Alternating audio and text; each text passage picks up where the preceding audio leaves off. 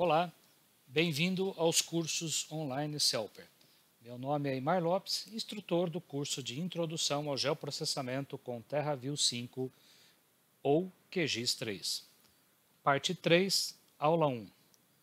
Bom, então nós iniciamos a terceira parte do curso aqui, eh, abordando o conceito de álgebra relacional né, e as, os princípios que estão por detrás da manipulação de tabelas em bancos de dados. E, em, em especial, nós vamos falar um pouquinho sobre a linguagem SQL, que é a linguagem padrão, a linguagem ISO que tem disponível aí nos bancos de dados de mercado.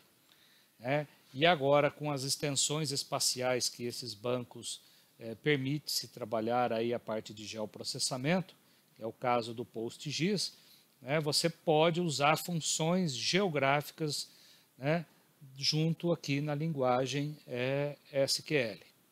Então, nós vamos ver aqui ao longo dos slides dessa apresentação uh, vários comandos e uh, trabalhando ali duas tabelinhas muito simples. Né?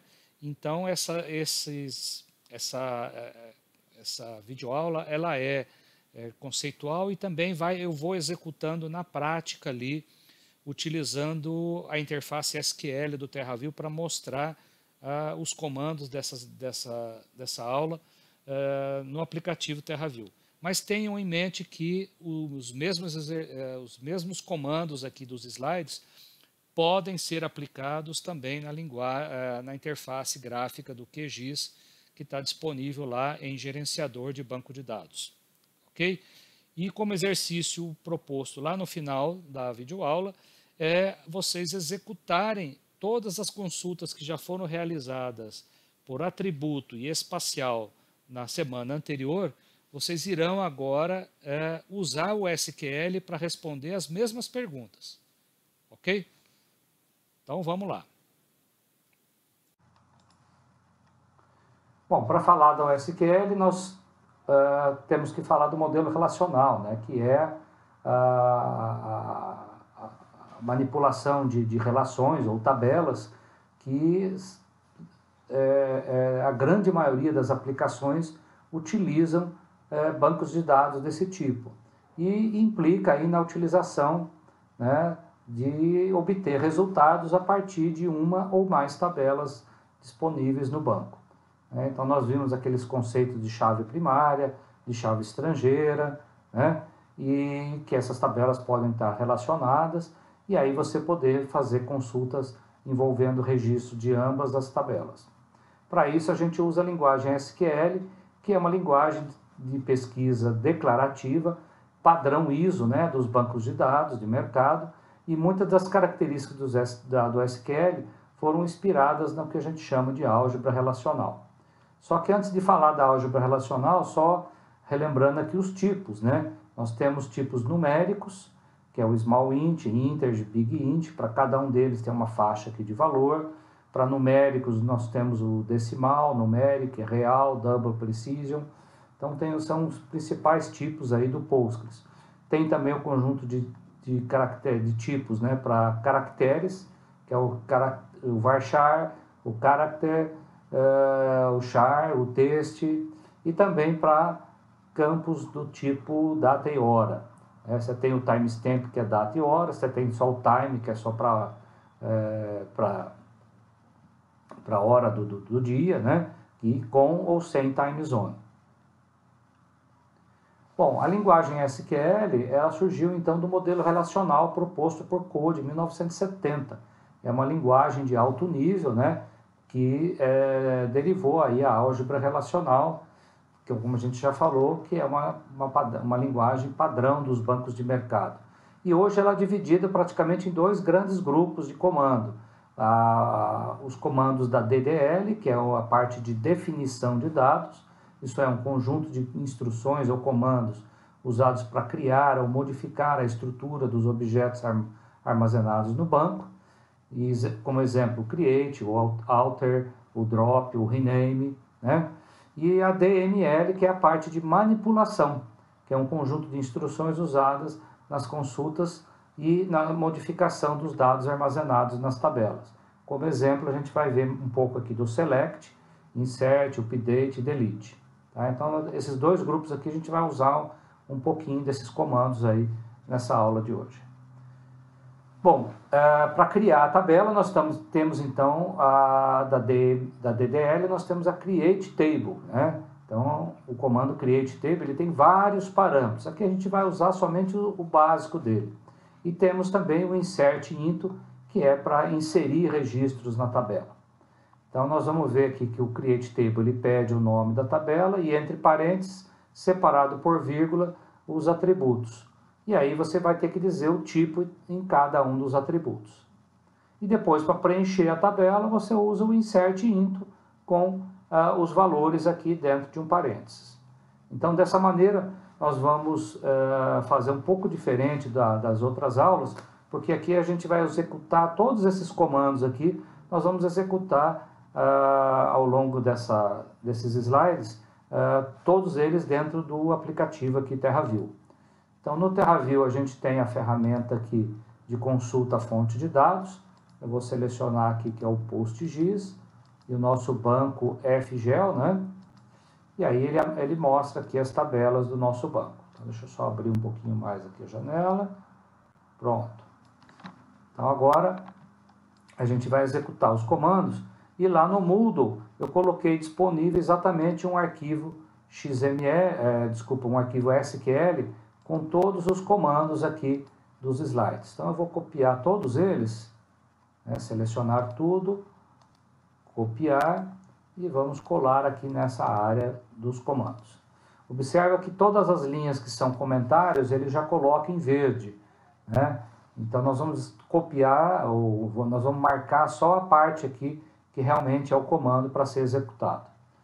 Então do, do slide 7 a gente quer criar a tabela de países você observa que na lista aqui de baixo ela não aparece, né, porque ainda não existe. Né? Então nós podemos marcar esse, esse trecho todo, que começa aqui no create e termina aqui no ponto e vírgula. Então lembrando que toda linha, toda linha de comando do SQL, a gente né, usa como padrão um ponto, um ponto e vírgula para separar cada linha de comando. Então vou marcar tudo isso daqui e como é uma execução, né, não é uma consulta, é o segundo botãozinho aqui que é o execute. Pronto, ele dá lá o comando que é feito SQL realizado e o comando que você deu não apareceu nenhuma mensagem de erro, então eu imagino que deu certo. É, se a gente marcar aqui, selecionar de novo, é, vai aparecer aqui a, a tabelinha países, olha, tá aqui, ó. Ele criou a tabela países e está aqui os três atributos que você adicionou. Né? Inclusive, se você quiser listar o conteúdo, você pode usar aqui o select asterisco, isso é, ele vai mostrar todas as colunas da tabela né, países. Então, select asterisco from países, se a gente consultar agora com esse comando, que é o primeiro botão aqui, ele mostra lá as três colunas, só que não tem conteúdo. A tabela está vazia ainda, né? E aí, para inserir os, os registros, nós vamos usar o insert into, o nome das colunas e, entre parênteses, os valores. Per perceba que o atributo PID a gente não precisa colocar aqui porque ele foi definido como um campo do tipo serial. Então, automaticamente, ele vai enumerar aqui os registros que você for inserindo. Então, se a gente marcar aqui essas duas linhas e clicar em Execute, ele vai dizer que, olha, comando realizado. Agora, se a gente verificar o conteúdo de novo, tá aqui, ó, ele adicionou nesse campo de chave primária serial, o registro 1, registro 2 e o conteúdo Alemanha com 82 milhões de habitantes e o Brasil com 190 milhões de habitantes. Ok? Da mesma maneira, agora nós vamos fazer para a tabela de, de, cidades. Só que aqui nós vamos acrescentar uma, aquela, aquele conceito da chave estrangeira, tá? Então, se eu colocar aqui, ó, create table cidades, definir um campo também serial, chamado CID, um campo nome, campo população de cidades, e o, o campo país ID, que é, que é exatamente também um campo do tipo inteiro, que vai ser o que? A chave estrangeira ligada com o atributo aqui de países. Então, nós definimos aqui quem é a chave primária, que é essa primeira coluna, CID, e foreign key é a chave estrangeira. Estou dizendo, olha, a chave estrangeira é país ID referenciada à tabela de países com o atributo PID da tabela de países. E aí fecha parênteses, ponto e vírgula. Então, se a gente marcar tudo isso daqui e executar, o comando aqui diz que foi executado. A gente pode verificar aqui no Select From Cidades. Está lá a tabela vazia. E agora a gente pode pôr aqueles quatro registros que nós vimos no slide lá atrás. Então, nós vamos colocar a cidade de Correntina, no Brasil, com 32 mil habitantes. Uh, Ouro Preto, 72. Münster, da Alemanha. Né? Perceba então aqui que a chave, uh, o país ID aqui é o 2, né? E do Brasil aqui, é, da, da, Alemanha, é a chave 1, ok? Então, vamos inserir esses quatro, essas quatro cidades. Então, se a gente der um execute, ele diz que executou, e se a gente verificar o resultado, tá aqui, ó, acrescentou 1, 2, 3, 4, que é uma coluna do tipo serial, né? Correntina é do Brasil, Ouro Preto é do Brasil, Münster é da Alemanha, Belmonte da Alemanha. Né? Lembrando que na tabela de, de países, né? Vou voltar aqui em cima, o conteúdo da tabela de países é 1 Alemanha, 2 Brasil, ok? Então, como você criou essa chave estrangeira né, e referenciou a tabela de países, olha o que, que acontece, por exemplo, se eu resolvo inserir uma outra cidade aqui, eu digo que esse, esse código aqui, em vez de ser 2, eu coloco, por exemplo, um número 3. O que, que vai acontecer se eu tentar executar a inserção desse registro com um código diferente de 1 e 2? Vai dar um erro. Ó. Não foi possível executar a instrução SQL devido ao seguinte erro. Inserção ou update na tabela cidade viola a foreign key é, constraint, né, que é a chave, a chave estrangeira criada de cidades PID né, é, em relação à tabela de países. Tá? Então, o que está dito aqui, entre aspas, é que você não pode é, inserir é, uma nova cidade para um código 3, sendo que ele não existe. Tá? Então, essa já é uma restrição interessante para você evitar que registros sejam inseridos de forma errônea na tabela de cidades. Ok? Dando prosseguimento, agora que eu tenho as duas tabelas, nós vamos ver a álgebra relacional que vai permitir exatamente fazer a manipulação dessas tabelas. Então, a álgebra é uma linguagem formal que mexe com uma ou mais tabelas. Isso é, você pode ter uma relação e gerar uma nova tabela, pode ter duas relações ou, né, ou duas tabelas que vai gerar uma terceira de saída. E aí nós temos operações que são operações básicas, conhecidas como unárias, de seleção, de projeção, produto cartesiano, a junção, né, que é o join, interseção, diferença. Então tem várias operações básicas aí que a álgebra relacional proporciona. E os operadores podem ser combinados de forma a realizar operações mais complexas, como a gente vai ver aí é, um pouquinho nessa aula. E aqui uma, um slide mostrando né, o que, que é a, a, seleção. A seleção é quando você, você extrai registros ou linhas de uma tabela ou relação. Projeção é quando você mexe com as colunas, você diz quais colunas você quer projetar. O produto cartesiano ela é quando você faz a combinação de todos os elementos de uma tabela com a outra. Então ele vai pegar o A com X, o A com Y, B com X, B com Y, C com X, C com Y. E aí monta uma relação de todos os registros combinados. Pode ser que não tenha sentido fazer o produto cartesiano com todos os registros. E a gente vai ver como resolver isso. A união, né, juntar registros das duas tabelas, a diferença, interseção, quer dizer, tem que estar, ser comum as duas tabelas, a junção, que daí ele vai pegar registros de uma e da outra e juntar na, aqui na saída, a razão. Então, existem várias uh, operações básicas aí da álgebra relacional e a gente vai ver um pouquinho delas, como é que funciona. Né? No caso da seleção, A gente viu ali atrás que a seleção era selecionar linhas da tabela. Então, eu quero aqui, por exemplo, da tabela países, eu quero selecionar ah, somente ah, o país Brasil. Então, eu vou ter que colocar uma condição, né, para dizer, é, desculpa, na verdade eu quero selecionar se o, se a, quais são os países que têm população maior do que 100 milhões de habitantes. No caso aqui a gente vê na tabela que é Brasil. E como é que fica a expressão em SQL para fazer isso? Então, se a gente olhar aqui no TerraView, né, agora a gente pode ver aqui, olha, a seleção está aqui, ó, do slide 10, é, eu vou clicar no, vou digitar o comando select, asterisco, quer dizer que eu vou colocar todos os atributos da tabela países, aonde, né, where a, o atributo população é maior que 100 milhões de habitantes. Perceba que todo o campo numérico, eles não, não, não, a gente não utiliza aspas. Né? Então, o atributo numérico vem sem, sem aspas. Diferente de outras situações que a gente vai colocar, como por exemplo, uh, aqui, olha, Brasil, né? É, é um campo alfanumérico, então ele tem que estar entre aspas, aspas simples. Ok? Então vamos executar essa primeira consulta aqui. Se a gente fizer isso aqui e consulta, ele mostra então, mandou projetar todos os atributos da tabela países, aonde a população é maior que 100 milhões de habitantes. No caso aqui, 190 milhões de habitantes é somente o Brasil. Ok? E a projeção. A projeção é quando você quer dizer qual coluna que você quer. Né? Então, projetar o atributo nome sobre a relação países. Como é que fica é, essa expressão aqui em SQL?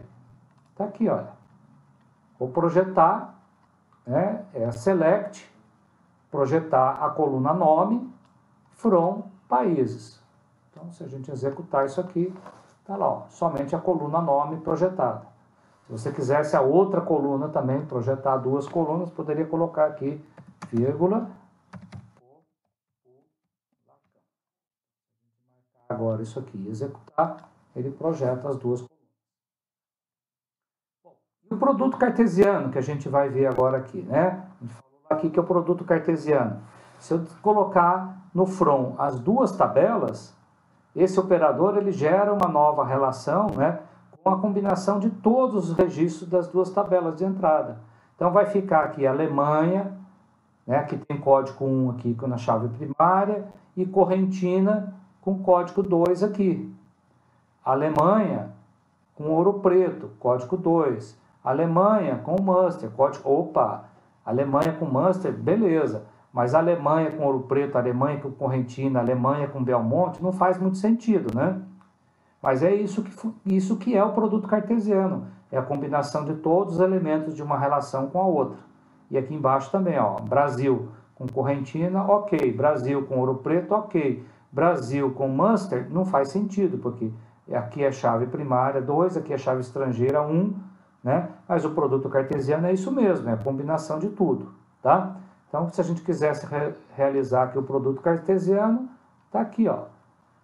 Eu vou colocar select, asterisco, né? Vou projetar todos os, os atributos de países, todos os atributos de cidade, from as duas tabelinhas aqui, ó. Então, se a gente marcar isso aqui, e executar, tá aí, ó, produto cartesiano, né?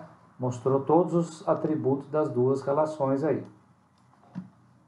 Né? Como a gente viu, não faz muito sentido só o produto cartesiano, né? Não faz muito sentido. Eu quero fazer com que esse número 1 aqui, né, de Alemanha, bata com o número 1 de Munster, que está aqui nessa coluna.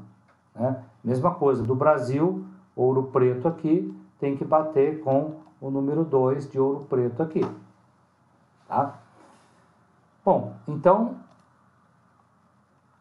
nós podemos fazer o seguinte, já que só o produto cartesiano não me interessa, eu tenho que fazer uma seleção, eu tenho que dizer que esse campo tem que ser igual a, que é a chave primária, tem que ser igual ao campo países ID, que é a chave estrangeira.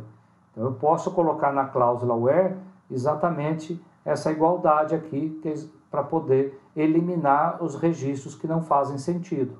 Então, se a gente vier agora aqui né, e colocar, olha, países, cidades, todos os atributos eu vou projetar. Né? O produto cartesiano está aqui e a seleção está aqui. Ó. O PID, que é a chave primária de um, com países ID da outra. Se a gente marcar isso daqui tudo, agora sim, você ficou somente com os registros né, numa única tabela da, da, resultando aí do produto cartesiano seguido de uma seleção. Mas notem também que às vezes os, os campos que tem nas duas tabelas, né, eu tenho aqui campos iguais, né? Nome de país e nome de cidade, população de país e população de cidade.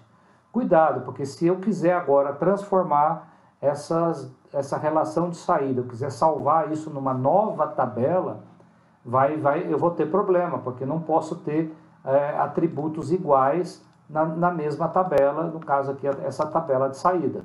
Né? Então, uma maneira de resolver isso, a gente vai ver durante o curso, que seria, por exemplo, eu colocar, uh, usar a cláusula S. Né? E aí eu posso usar tanto para os atributos como para as tabelas. Então, eu posso dizer aqui, ó, países, S, P, então, eu estou dando um apelido, né, um nickname aqui para países, e cidades eu estou chamando de C. E aí eu posso trocar aqui embaixo a cláusula where e colocar aqui, ó, P de países, que é o PID, tem que ser igual a países ID, né? O C aqui é da, é da tabela de cidades. E aí eu vou projetar o que? Cada um dos atributos eu vou colocar um, um, um ES aqui para dizer que vai ser um atributo diferente. Então, aonde era nome, eu vou colocar país, nome país. População, pop país. Nome de cidade vai ser nome cidade. População de cidade vai ser pop cidade. Então, se a gente agora marcar isso aqui tudo, olha, e executar, agora sim, ó, cada uma das colunas ficou com um nome diferente. Se eu quiser até transformar esse resultado aqui numa nova tabela, eu poderia, acrescentando o comando aqui, create table, tá? o nome da tabela, AAA, as, o resultado dessa consulta. Então, se eu marcar tudo isso daqui e executar, ele vai estar criando uma nova tabela com o resultado desse produto cartesiano seguido de uma seleção. Tá? Eu não vou executar agora não. Bom, na sequência, nós temos então que em vez de usar o produto cartesiano seguido da seleção, nós temos exatamente uma função que faz isso, que é o join. Né? E aí nós vamos usar aqui o inner join on os dois atributos de ligação. Tá? É muito parecido e tem o mesmo efeito. Tá? Não tem diferença nenhuma no resultado. Então, se eu usar agora o inner join olha, e marcar tudo isso daqui, opa, executar, Tá lá, ó, produto cartesiano, seguido da seleção, só que agora eu estou utilizando aqui o inner join como comando para poder fazer isso daí, tá? Então o resultado é exatamente igual. Bom, então agora nós vamos falar, falar um pouquinho dos comandos de consulta, né? usando o select, que faz parte da DML, que é a linguagem de manipulação do SQL. Bom, nós já, na verdade, a gente já viu um pouquinho na prática ali atrás, que o SQL é basicamente dividido em três partes, né? No select, que é a projeção dos atributos que você quer, de uma ou mais tabelas. No from é a lista de tabelas, e se tiver mais do que uma, ele vai estar tá fazendo o produto cartesiano, né? ou no caso você pode colocar o inner join aqui na frente. E o, a cláusula where, que são a, é a seleção, né? É, é, os registros são as linhas da tabela que você vai é, selecionar. Então, select é projeção, from produto cartesiano, where é a seleção. Então, no exemplo aqui, né, seleciona o país com população maior que 100 mil, como a gente já executou ali atrás. Bom, mas na literatura tem outra, se você olhar a documentação ali do comando select no, no manual, você vai ver a quantidade de comandos que tem lá. E aqui a gente vai executar somente alguns deles, né? que é o, além do where, nós vamos fazer um group by, você pode usar o having, que é uma condição do group by, pode ordenar em ordem ascendente, descendente, né? Então, são mais alguns parâmetros que a gente pode acrescentar aqui. Mas olhe lá na documentação do Select, que você vai ver que é muito mais extensa a, as, as propriedades do, do select. E aqui para executar esses comandos, né, recuperar dados uh, do país Brasil. Né? Então nós vamos como é que executar isso daqui. Eu posso uh, vir aqui, né? aqui ó, recuperar os dados do Brasil. Então, se eu select asterisco from países, nome Brasil, tá lá. Mostrou todos os campos da relação Brasil. E agora eu quero quais são as cidades do país Brasil. Então, eu vou colocar aqui que é o produto cartesiano, né, com um apelido, cidades e países, com um C aqui na frente, e vou colocar o nome da cidade. Então, você observa que é nome, o C aqui na frente é porque ele vem da tabela cidade. E a cláusula, uh, e, e, e no where, além do, da seleção aqui, né, que é que é para poder ligar a chave primária com estrangeira, eu quero também, então é um AND, uma segunda condição, que o nome do país, tá? então perceba que é nome né, da tabela país, tem que ser Brasil, entre aspas, ponto e vírgula, fecha o comando. Então vamos executar isso aqui, tá lá, ó. somente as três cidades que são do Brasil. Tá? Lembrando que eu poderia fazer a mesma coisa usando o inner join, né?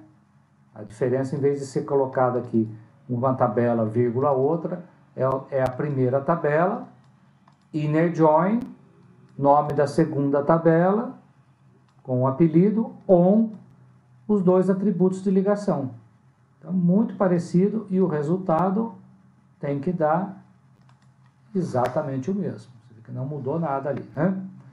Bom, no, sequência, eu esqueci de colocar nome aqui da é, quais países da cidade do Brasil, né?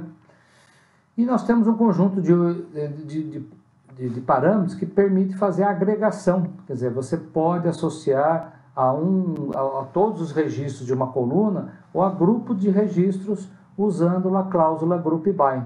Então existe aqui a média, a soma, a contagem, o número máximo, o mínimo né, de um determinado número de registros da, de uma coluna. E aí a gente pode calcular, por exemplo, aqui qual é a soma da população para a, as cidades do Brasil. Então você vai usar o grupo by aqui embaixo, né? E o sum aqui para projetar, né? Como eu quero projetar a soma, o operador de agregação vem aqui na frente do select. Né? Então eu vou projetar o nome, do país e a soma da população das cidades, é, do, no caso do Brasil. E aí aqui está aqui a condição Brasil, a, a chave primária estrangeira e a, você vai observar que toda vez que você usar o SAM, ele vai te pedir para você colocar a cláusula group by também aqui embaixo. Né? Então, se a gente marcar esse comando aí, executar, está aqui, ó. Então, né? Se eu executar sem o, o group by, né? se eu colocar ali em cima só até essa parte aqui, olha, ele vai dar um erro, né? Olha, ele vai dizer aqui embaixo, olha, ele até te avisa aqui, ó, estou usando um, um, operador de, de agregação, que é o SAM, ele pede para que você acrescente a cláusula group by para o atributo que você tem aqui em cima que é o nome do país. Como eu vou ter o Brasil três vezes, ele tem que estar agrupado na, na cláusula group by. Então, vou tirar essa, esse ponto e vírgula e deixar tudo isso daqui agora. Pronto, tá aí, ó. Ele pegou as três cidades do Brasil, somou, deu aquele valor ali, ó, 128 mil habitantes das três cidades. Ainda tem ali, a, no slide ainda aqui, falava ah, quais são, quantos países há no, no banco de dados de, de países. Então eu posso usar o count, por exemplo, para somar registros que tem aqui na tabela. Aí o que vai estar entre parênteses aqui não interessa. Então você pode usar o asterisco aqui, porque ele vai contar qualquer número de registros que tem lá naquela tabela ou relação. Então se eu fizer isso aqui e clicar, ele vai dizer que o count ali deu o resultado 2, porque eu só tenho Brasil e Alemanha. Bom, gente, e aí depois na sequência aqui você tem um conjunto de comandos da DDL para alterar a estrutura da tabela. É usar o alter table. Então eu posso alterar a tabela de países, acrescentando, por exemplo, uma nova coluna. Depois eu posso, se quiser mudar, eu, eu me arrependi aqui de criei com tamanho de 20, eu posso dar um alter column e aí alterar o tamanho dessa coluna. Eu posso renomear uma coluna, ela é, ela está escrito com o campo nome. Eu posso dizer que na tabela cidade ela vai se chamar nome underline cidade. Eu posso apagar uma coluna que eu criei uh, e eu posso renomear uh, a, própria, a própria tabela. Dizer que em vez de ser cidades com S, vai ser somente cidade. Então, esses comandos, se a gente quiser executar, está aqui. Né? O primeiro deles aqui, eu vou alterar a tabela de países, eu vou acrescentar uma coluna, vou dar um add column. Então, se a gente executar, o comando dele diz que foi executado com sucesso, e se você der um select na tabela de países, sei lá, ó, acrescentou uma coluna chamada presidente ali. Tá? Se eu quisesse agora, poderia dar um update também para poder inserir valores naquela, em cada uma dessas posições aqui. E, ah, só que se eu criei ele com tamanho de 20, se eu quiser alterar, né, posso usar o comando alter table aqui. Ó. Então, vou alterar o tamanho dele para 20 caracteres. Então, se a gente executou, tá, o comando deu ok, beleza. Então já alterou lá. Agora, em vez de 20 caracteres, ele cabe até 50. O renomear na tabela de cidades, a coluna que era nome vai se chamar nome cidade. Se a gente marcar isso aqui e executar, opa, esse de baixo.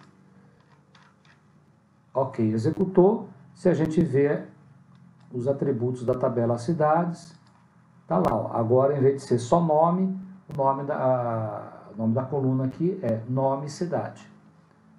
E apagar daquela tabela de que eu havia criado aquela, aquela atributo presidente, né? Então, se eu quiser remover ele, é um drop column.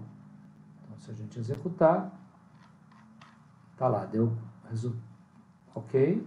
Se quiser ver o resultado, select from países, tá lá. Eu apaguei aquela coluna que eu havia criado. E por último aqui, renomear o nome da, da tabela. Em vez de ser cidades, vai ser cidade. Então, se a gente marcar isso aqui e executar, diz que foi executada com sucesso. E se a gente quiser ver, na verdade, o nome de todas as tabelas, eu posso usar esse comando aqui do Postgres, né? Ele vai no esquema público e vai listar todas as tabelas aí. Então, se a gente fizer isso aqui, consult, tá aqui, ó, cidade de, ó, era cidades, agora ficou cidade, ok?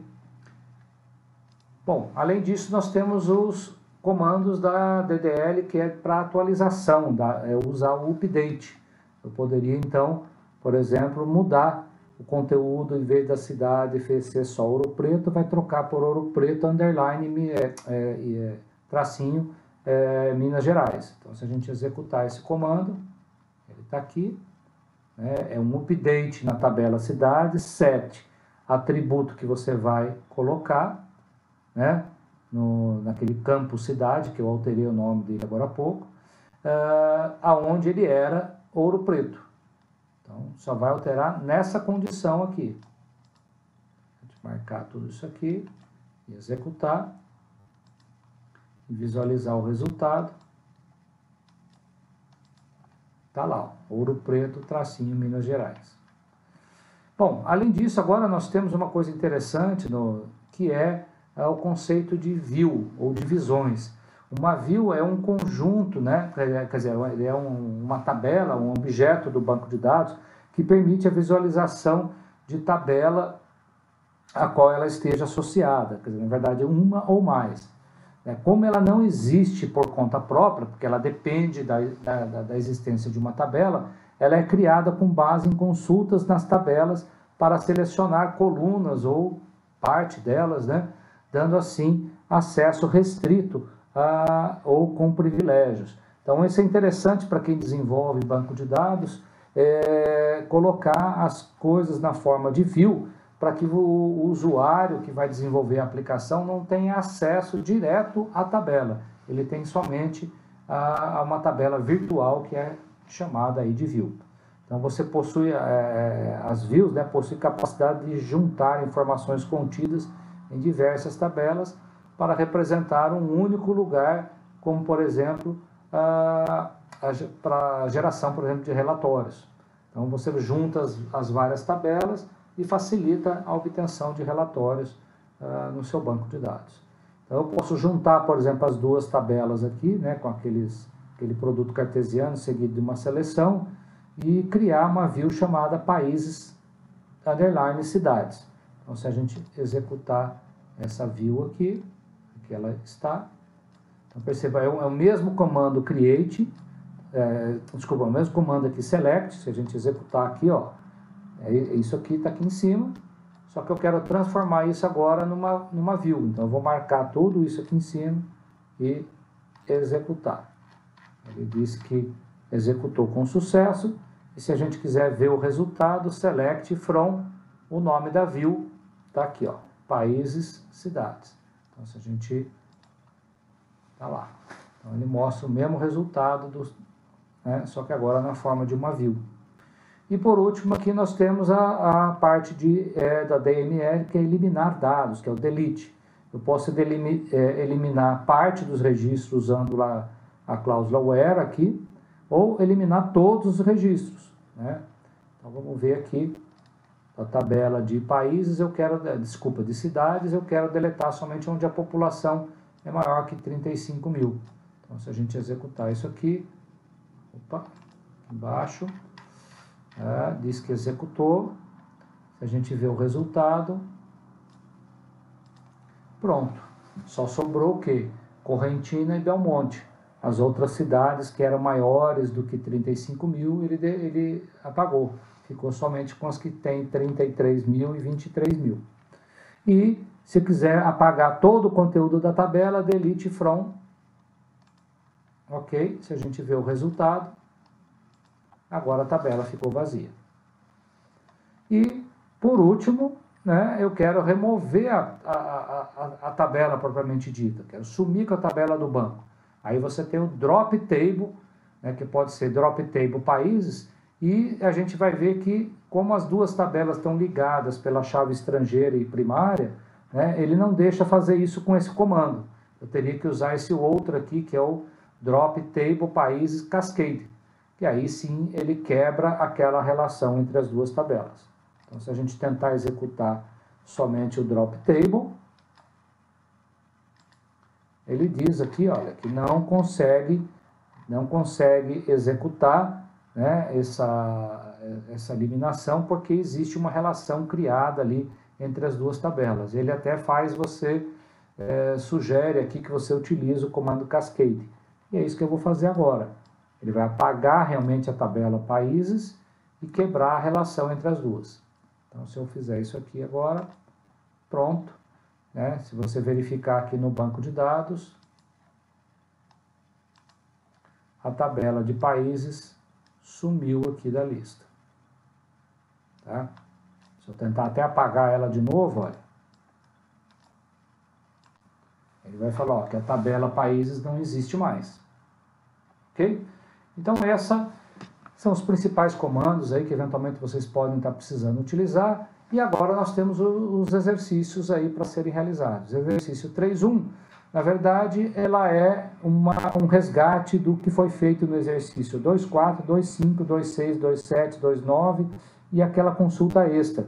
Todas elas agora você vai fazer usando essa interface aqui do próprio TerraView. Quem quiser pode usar também a, a, o próprio PGAdmin 4 lá. É só abrir uma janela de comando dele e, e executar dentro do PGAdmin também. É a mesma coisa. Então, nessa, nesses primeiros exercícios aqui, é, vocês vão encontrar lá o roteiro passo a passo, aonde eu vou comentar o que, que é cada linha de comando dessas aqui. Então, leiam lá para vocês é, entenderem o que, que a gente está executando em cada um desses comandos. Depois nós estamos, então aqui no caso do exercício 2.7, né, era aquela, aquela consulta que foi feita com a tabela de poços, né, de, de Goiás. Só que naquela, na, naquele exercício lá atrás, vocês fizeram a ligação pelos atributos, usando o código do IBGE. Só que agora eu quero que você crie uma nova tabela. Então você vai importar novamente ah, o, o, arquivo CSV de Poços e você vai usar aquela coluna de latitude e longitude e criar aqui usando 4618, que é o modelo da Terra SAD 69, para ter a, a, as coordenadas geográficas agora numa coluna geométrica do tipo point. E para responder essa pergunta aqui em cima, você vai usar o AVG, que é para o cálculo da média. Você vai usar as duas tabelas de município GO, que tem exatamente a geometria dos municípios, o poços tubulares PTO-GO, que é essa nova tabela que você vai importar novamente, criando a geometria de pontos, e aí você vai usar na saída, na projeção, eu quero exatamente essas quatro colunas aqui, o nome meso, população, vazão e profundidade. Só que agora, como você tem geometria nas duas tabelas, em vez de usar a relação por atributo, você vai usar a relação espacial. E aí eu quero que vocês utilizem o operador ST-within. Isso é, né, lá na cláusula é, é, where, você vai dizer que é, a geometria 1 tem que estar dentro da geometria 2. Ok? Uh, veja o atributo espacial. É lógico que aqui na hora de colocar o nome da coluna geométrica, você verifica lá qual que é o nome da, das colunas geométricas. Tem também uh, um outro exercício proposto que é exercício, dentro do exercício 3.1, né, a SQL do exercício 2.9, que é aquela que é, quais são os três setores do tipo rural de Niquelândia. Então vocês fizeram isso daqui usando as interfaces lá do TerraView. Agora eu quero fazer a mesma coisa aqui em SQL. Então só que agora como eu quero contar quantos pontos estão dentro de, uh, de um polígono, você vai usar o intersects. E aí eu quero contar então quantos pontos tem essa interseção aqui. Então você vai usar o count para contar as duas tabelas e o operador ST intersects. Tem essa outra aqui para desenvolver, que eu quero saber quais são os municípios que fazem interseção com o Parque Estadual Pirineus. Então você tem uma geometria lá de, de parques, que é esse, esse polígono verde, tem a geometria de municípios, e eu quero saber quais são as os municípios que fazem interseção, é, qual é a, essa área de interseção e qual é a porcentagem dessa área em relação à área do parque.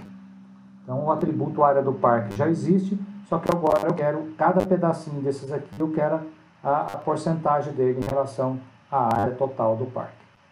Para isso, você vai usar todos esses parâmetros aqui.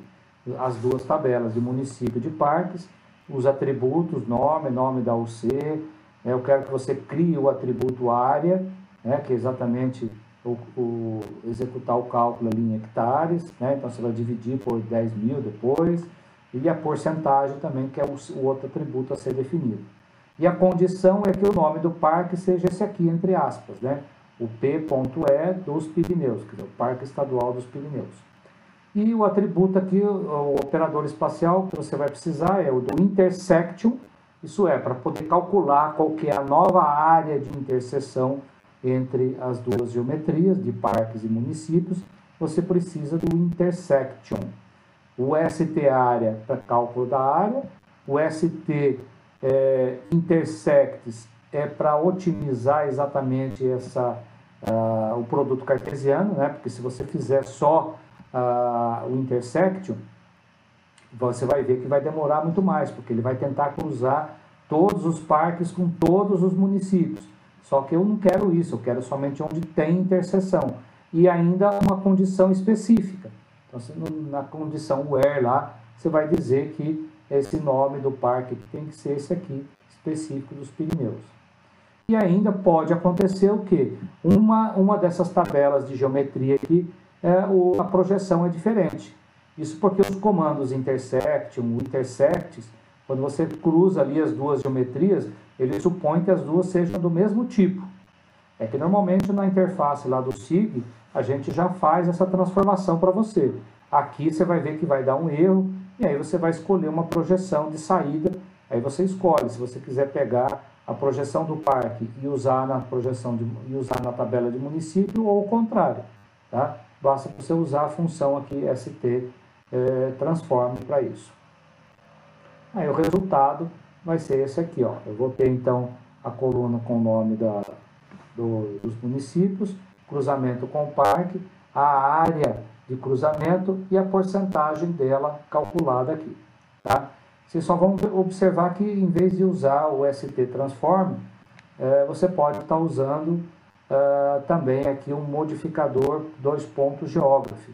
Então isso daqui permite que já a, aquela coluna, em vez de, de, você usar o transform, ele já joga tudo para uma coisa do, do, tipo geográfica, e aí o, o cálculo dali já está, a unidade do dado já, já é colocada em metros, para depois calcular metros quadrados aqui, que é a área que eu estou querendo. Tá bom? Então, muito obrigado pela atenção. É, essa aula foi um pouquinho mais extensa, porque eu queria detalhar um pouco mais aí essa questão do SQL, mas qualquer dúvida, né, é, recorram aí ao fórum ou ao nosso chat ali de perguntas, né? Você pode mandar mensagem direto para a gente aí, tá bom? Muito obrigado, até uma próxima aula.